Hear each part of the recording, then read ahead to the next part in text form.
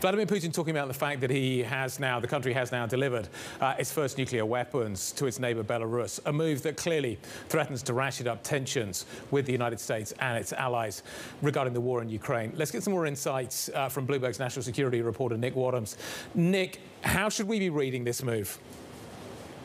Well, I think it's a clear signal uh, to NATO in the context of the Ukraine invasion that uh, Vladimir Putin is to be taken very seriously. I mean, look, you know, Russia already has nuclear weapons in Kaliningrad, which is further west than Belarus, so it, it's not really something where he would in, uh, obtain any strategic or tactical advantage, but it's a warning shot across the bow as NATO, the U.S., and its allies uh, boost, you know, successively more powerful powerful weapons systems for Ukraine to repel the Russian invasion. It's, it's a sign that he means business. So, what does NATO do or the West do in relation to this?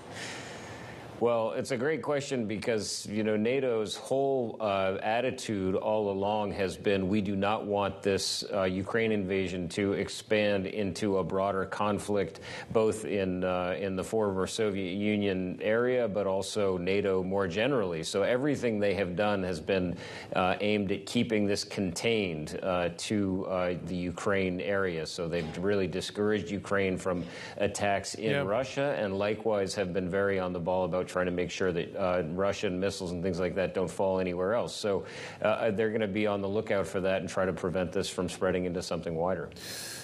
Escalate to de escalate has been part of Russian thinking regarding how you use nuclear weapons. Um, Kissinger was talking to Bloomberg a little earlier, talking about the fact that, that Vladimir Putin would struggle if Ukraine were to win.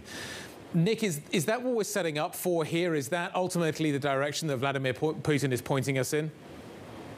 Well, you know, there, there are a couple contextual things that are really important here. So, on the one hand, the U.S. and other allies have really changed their own calculus on the risk of escalation. So, we've been told by numerous administration officials that they essentially believe, you know, those concerns we had about escalation earlier that prevented us from sending some of those bigger weapon systems, we're not so worried about that anymore. So, you've seen, you know, F 16s and other more advanced, you know, Abrams tanks and things like that flowing into Ukraine because they're not quite as worried. Now, you know, Ukraine, obvious, excuse me, Russia responds and says, okay, well, you guys said you're not worried about escalation. How about this? Uh, so it's really going to change uh, a lot of those conversations in Washington and in, in Europe, uh, trying to measure, you know, where this fits in and whether this is, in fact, the escalation that they were so worried about.